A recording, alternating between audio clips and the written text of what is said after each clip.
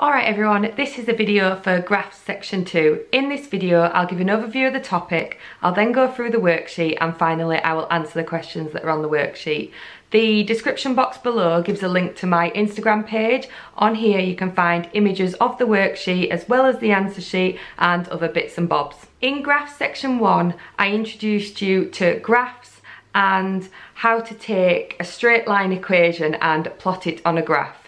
In this video, we're doing the reverse. So we're given a straight line equation on a graph and we're working out what the equation for that straight line is. To do this, we need to learn three things. First, we need to learn what an equation for a straight line looks like. Second, we need to learn about something called a gradient or slope of a line and how to find it. And third, we need to learn what the y-intercept is of a straight line and how to find it. Remember, the reason why we're learning all this is so that we don't always have to, you know, write equations, write symbols and write letters with maths. It's important to be able to visualise maths because visualising maths helps us learn it and helps us understand it. And, and that's what we're like doing here. We're learning how to take sort of written maths and transform it to visual maths. It's a bit like the difference between books and films. Sometimes you're happy to read a book, you can use your mind and imagination to visualise that story. Whereas other times you want to see that story in all its colour and sound glory through a film. These sections are allowing you to take maths out of your mind and imagination and see it like films take stories out of books onto the screen. So let's go ahead and do that. Right, this is the worksheet for graphs section 2. On this worksheet, we'll go over what an equation for a straight line looks like, what the gradient and y-intercept of a straight line are and how to find them, and then finding the equation for straight lines. Let's jump into the first section. Equation for a straight line. If you see a straight line on a graph, the equation of that line will look like this. y is equal to mx plus c. Every straight line can be described by an equation of this form. Similarly, if you see an equation of this form, you know that when this equation is drawn on a graph, it is a straight line. This is a really important equation. And so it's definitely one to remember. Like I still use it when I was doing my masters in maths. Really important. Definitely learn it. Now, usually when you see this equation, the m and the c will be numbers. Their values tell you something about the straight line. C here is the y-intercept. It tells us where the straight line crosses the y-axis. If we just look at this graph down here, the y-intercept of this red line here is minus 3 because this line crosses the y-axis at minus 3. The y-intercept of this blue line is 0 because this blue line crosses the y-axis at the point 0. So we know what C is. C tells us where the line crosses the y-intercept. What about M? M is the gradient of a straight line. So it tells us about the slope or steepness, if you want to call it that, of the line. Again, looking at this graph below, if we look at this blue line first, this line has a positive gradient of 1, i.e. m is equal to 1. If we were to increase the value of m, our gradient would get steeper, i.e. if m was to increase, this line would begin to get steeper and steeper and steeper and steeper. That's what happens when you increase m. So, for instance, this yellow line here has a steeper gradient than this blue line here, i.e., the value for m of this line will be bigger than the value of m for this line. If we were to decrease the value of m, then our line would become less steep, i.e., it would be shallower. So, decreasing the value of m, our line would become shallower, i.e., it'd go down and down. As m is decreasing, this line is getting shallower and shallower and shallower. So for instance, this red line here, this has a gradient that is much smaller than this blue line here because you can see this red line is much shallower. The steepness of this line is quite small compared to the steepness of this blue line. Now, as I said, this blue line has a positive gradient of 1, i.e. m is 1. What if we made it negative? If we make the value of m negative, our line would flip 90 degrees, e.g. our slope would be decreasing from left to right rather than increasing from left to right. So again, if we take our blue line and if we make the gradient of this line negative, it will look like the following. There we go. that blue line has flipped. So the line is now decreasing from left to right instead of increasing from left to right. This has a negative gradient. So there's just a few examples of different gradients and how as gradients change, the steepness or slope of lines change. Let's move on to the next section. The gradient formula.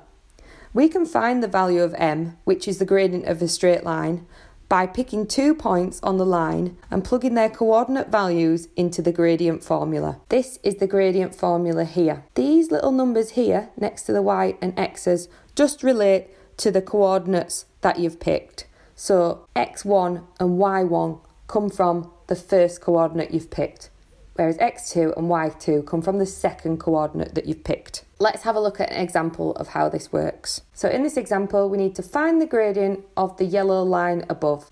So this line here, we're going to find the gradient. So the first thing we need to do is we need to pick two points on the line and write down their coordinates. So let's go ahead and pick two points on that line.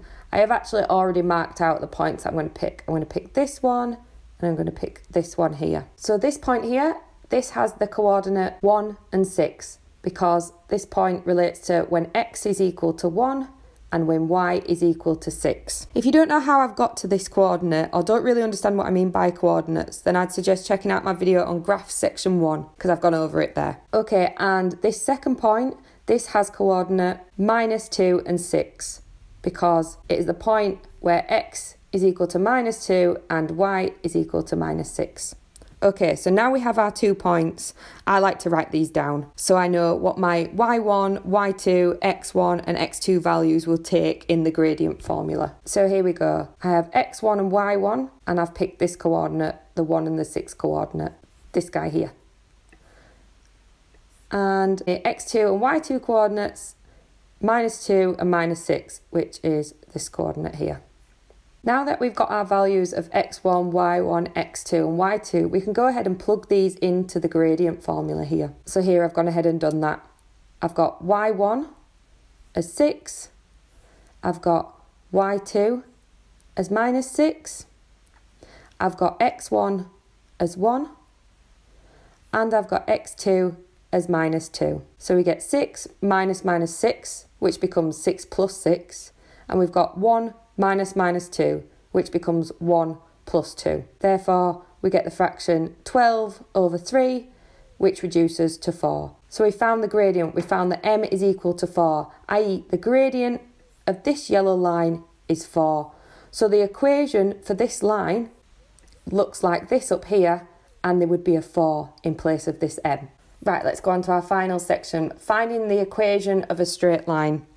In order to find the equation for any straight line, you have to follow these three steps. The first, you need to find the gradient of the line. We've literally just gone over the gradient formula and how to find gradients. You pick two points, you find the coordinates, you plug those coordinates into the gradient formula, and then you get the value for m, which is the gradient. Step two is find the y-intercept. This is the value of c.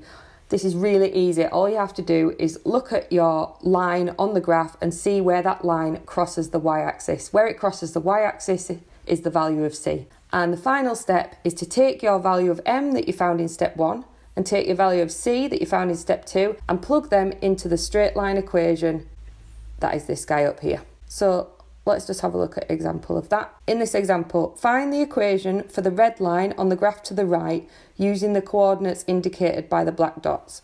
So we're finding the equation for this red line and we're going to use these two dots here. So first step, we need to find the gradient m. We know from the previous section that we've just gone over that in order to find m, we need to pick two points. Well, these have already been set out for us, they're these.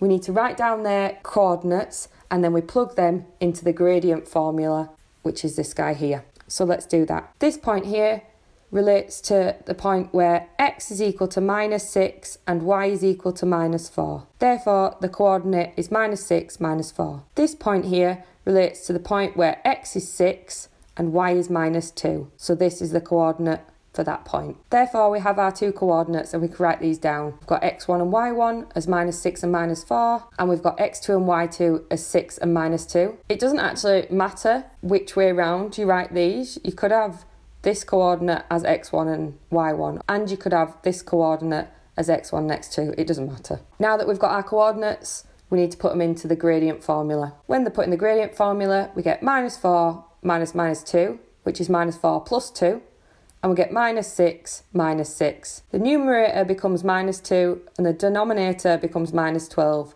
which then gives 1 sixth. So m is equal to 1 over 6. The gradient of this red line is 1 over 6. Right, our next step is to find the y-intercept, i.e. we need to see where this line here crosses the y-axis. This is really easy.